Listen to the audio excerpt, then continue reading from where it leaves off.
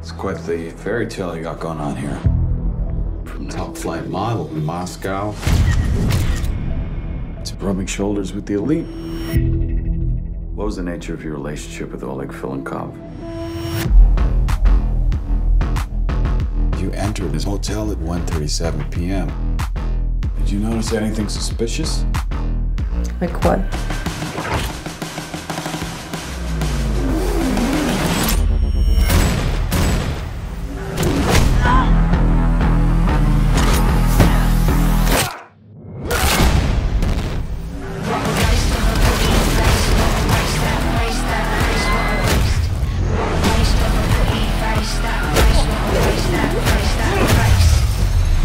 Can't you look at the hotel security cameras?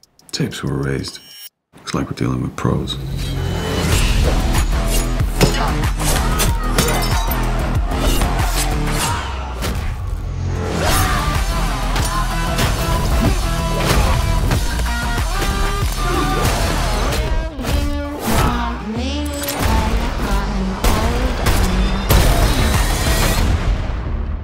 How did you do that? Your next target is in Paris. There'll be no backup. Any questions? Which room?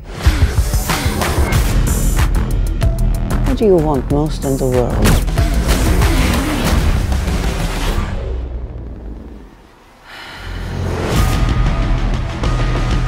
You'll never make it out of here. Hi. What's your name?